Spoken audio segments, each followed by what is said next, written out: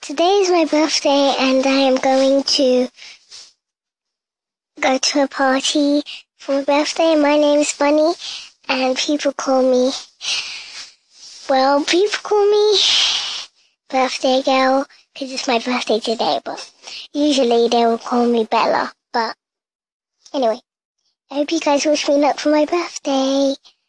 Thank you for listening. Bye.